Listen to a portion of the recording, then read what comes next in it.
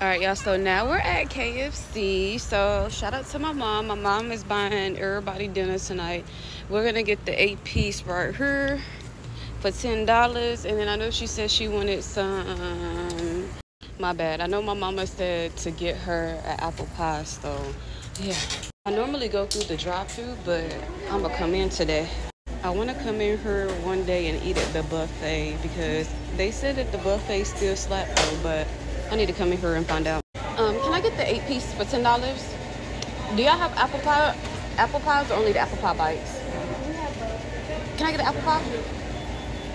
How much are they?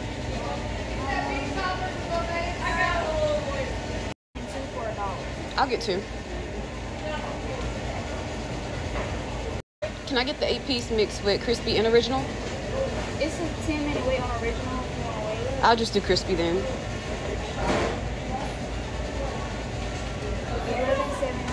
All right. And now we wait. I'm gonna show y'all the food when we get back home though.